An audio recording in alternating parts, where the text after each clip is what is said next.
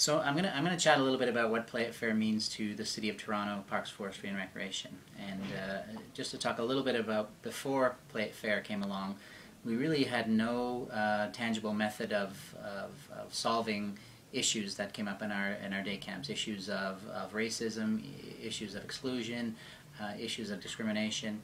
Uh, since uh, since the Play It Fair program has been implemented, we now have uh, a, a, a, toolkit, um, a vehicle, I guess, for um, for solving some of those issues. Uh, the uh, the toolkit has 63 games which are now used in camps all across the city of Toronto. Uh, currently at about 80% of our camps. Um, and we've had great success uh, in, in implementing it, uh, and not only uh, for our campers, um, but for our staff. It's, it's a great tool to train our staff. We're finally talking in Parks and Recreation about human rights, sort of on a day-to-day -day level, where before, you know, I don't think people even realized that children had sort of human rights. So um, that's a, a, hugely positive thing for us in, in a city that is incredibly diverse.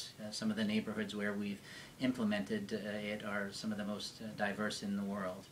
Um, I mean, secondly, uh, it's it's an opportunity to to uh, expose our children and our staff to games, um, and and from those games, uh, it leads into a discussion of the values that the that the program is based upon, um, and it's it's just been an excellent excellent experience for all of our staff, our children, and the families that we work with.